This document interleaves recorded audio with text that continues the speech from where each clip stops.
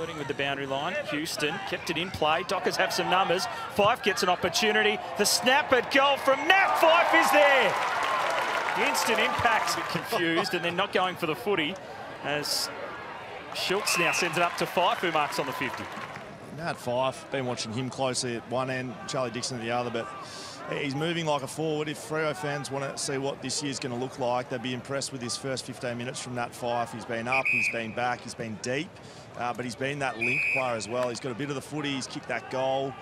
I mean, pe people forget, I don't know if they do forget, two Brownlow medals. He's a quality player and uh, looking really dangerous for the Freo Dockers. Found a way to get it across to Tracy. Then wobbles one. Fyfe could get out the back here.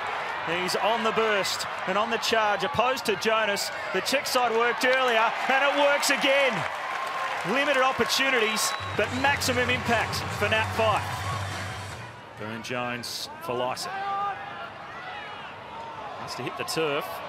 The call to play on. Fyfe just breaks through, but don't argue, and he hooks another goal.